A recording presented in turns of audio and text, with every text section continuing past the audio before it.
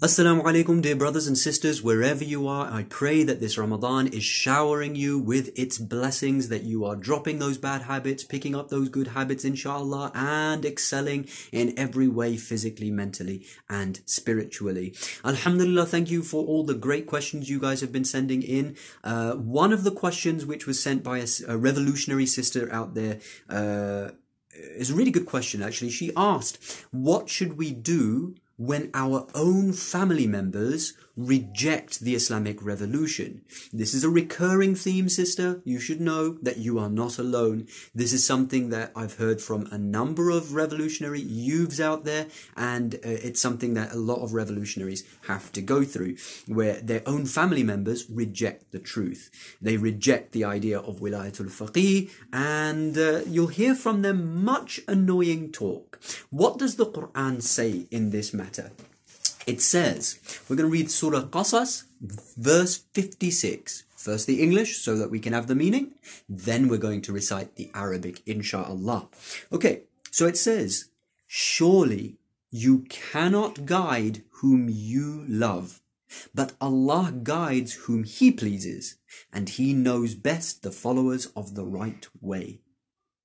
أعوذ بالله من الشيطان الرجيم بسم الله الرحمن الرحيم إنك لا تهدي من أحب إنك لا تهدي من أحببت ولكن الله يهدي من يشاء وهو أعلم بالمهتدين The sooner we let it out of our hearts and we realize we don't have the ability to guide anyone, Allah's the guide. As soon as we let go of that, things will become a lot clearer and a lot easier.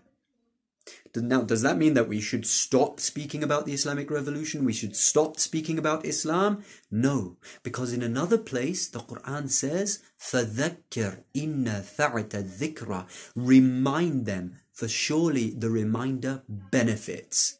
Why should we then talk about Islam? Because Allah wants us to talk about it. We're gaining reward by talking about it, by spreading the message. Okay. Now look at the next verse. What does it say? It says, and they say, the people who reject, right? They say, if we follow the guidance with you, if we follow that which you're guiding us towards, we're going to be carried away from our country. وقالوا إن نتبع الهدى معك نتخطف من أرضنا is this not the attitude that a lot of people have? They're actually afraid of following the Islamic revolution, following Wilayatul Faqih, because in the backs of their minds, they're actually thinking, if I follow this, I'm going to be exiled from my country. I'm going to be kicked out. I'm going to be imprisoned. I'm going to have to go through oppression and persecution. A lot of people are not ready to accept that, and so they fabricate ideas and arguments which are all false and uh, very shallow arguments to reject that reality. What you're going through is nothing new. The Prophet went through the same thing. Right? And we should actually be thankful that Allah is helping us to get a glimpse of the pain that the Prophet ﷺ went through. There are three things that I want to tell you. All the revolutionary brothers and sisters out there who feel this pain at their own family members rejecting the Islamic revolution.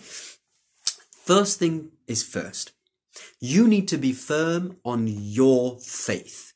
All right. Never back down. You need to strengthen your iman in the Islamic revolution. Recognize that it truly is the path which is leading up to the zuhur of Imam Mahdi. Okay. And in order to do that, you need to get connected to good scholars, like reputable scholars, and I'm going to say it on the level, those scholars which Islamic Pulse, for example, has promoted that's the first thing, right? And how do you get connected? You need to get connected to the Quran, dear brothers and sisters. You don't even need scholars half the time. Trust me, dear brothers and sisters, you don't even need me.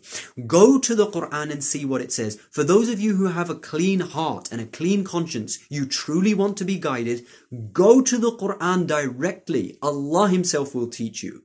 Ittaqullah, the Quran says, have fear of Allah, have taqwa, God consciousness, Allah. Allah Himself will teach you.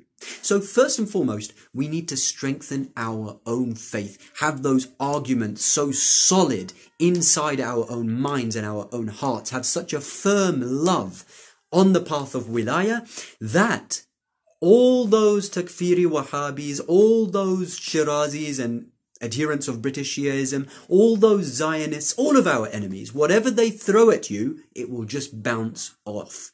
You will be strong enough to bear it, inshallah. So that's the first thing. Strengthen your own iman. Second thing, don't get disheartened.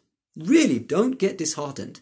It can be incredibly frustrating when your own family members don't listen to you, and even though you're giving them all the arguments and you're telling them how it is and you're showing them things which to you seem really, really obvious, and they are obvious and they are clear, but for whatever reason, Allah is not guiding your family at this point in time. Okay? Um, recognize again that this is a path that the prophets went through, that the Ahlul Bayt salam had to go through, and Allah is giving us a glimpse of that path. We should be very thankful for that. Okay? And the third and final thing is move on. There are over 7 billion people in the world today, right? They all need to hear this message right? Get connected to other Islamic revolutionaries out there online. Engage in the soft war, in jihad tabyin, the jihad of making things clear, and reach out to non-Muslims also. You'll see that people in the West particularly are hungry for the Islamic revolution. They can see the corruption of their governments. They want to stage an uprising. They want to fight back. They want to at least, at the very least, uh, expose those tyrannical uh, elements in their governments. And when they see that Islam is offering them a divine path which enjoins us to do nahy anil munkar, uh, forbidding the evil, they are going to come towards this path afwaja in great flocks.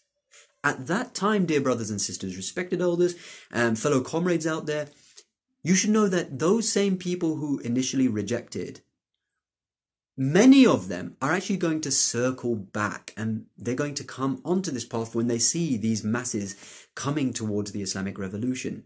And at that time, it may even be quite irritating because a lot of them will be like, yeah, yeah, we were always with the Islamic revolution. We never rejected it. Yeah, right, okay. Uh, but this is a pattern that uh, history has gone through. And, you know, history will repeat itself. And, um, so that's it. So number one, strengthen your own iman. Number two, treat your family with love and respect, but don't get disheartened and frustrated to the point where you're constantly trying to convince them. You know, number three, move on.